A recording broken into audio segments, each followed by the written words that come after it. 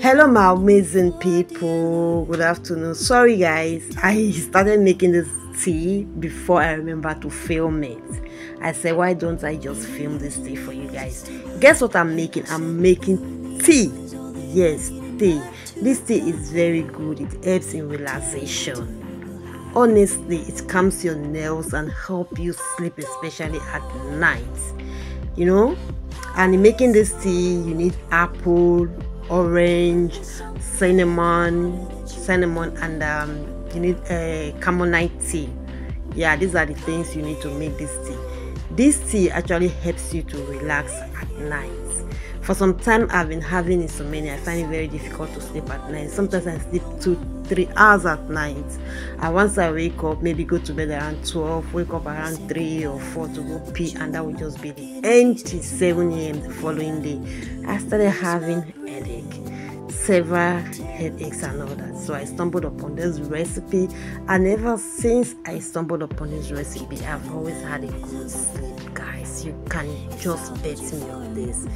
This tea you all know the amazing properties in apple orange the vitamin c antioxidant you know cinnamon all these things are just amazing and they are things that you can find within your home premises you know you don't need to stress. This is me adding cinnamon to it guys. This this is a tea. Uh, you, you can use chamomile tea but i actually look for this tea everywhere. I didn't get this particular one. So i got something closer to this. So this one is also good but this is made with um, apple also Mazana, anise and chamomile so but if you go online or just shop online you can actually get this real organic chamomile tea and it will help in your tea guys. Trust me this tea will calm your nerves. It will help you have a good relaxation at night. Take it from somebody who have tried and trusted it take it for somebody who have been having sleepless nights who cannot sleep. But right now once i go to bed it's like that see i wake up around 8 a.m in the morning. This is it all done ready. I'm saving it into my jug.